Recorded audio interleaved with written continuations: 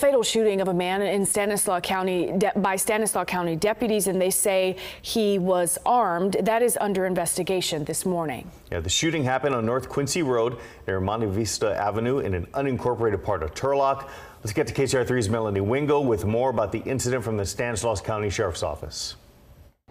Well, we came here to the sheriff's office after checking out the shooting scene.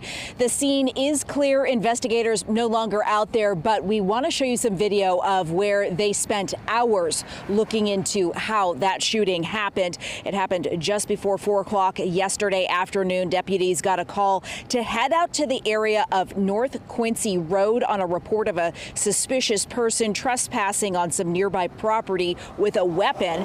Stanislaus County Sheriff's Office and Turlock Police Department's K-9 unit arrived and found that man. Deputies say they made several attempts to talk to him using several less than lethal means, they say, to try to de-escalate the situation and get that man to comply with their instructions. They say the man refused to drop his weapon and then charged at deputies without warning. So a deputy shot the suspect.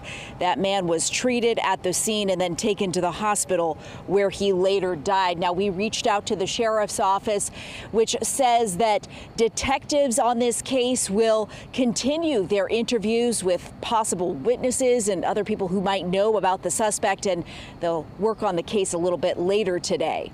Reporting from Modesto this morning, Melanie Wingo, KCRA 3 News. Meanwhile, the Stanislaus County DA's office will do an independent investigation into that shooting, and so will the Sheriff's Office Internal Affairs Unit.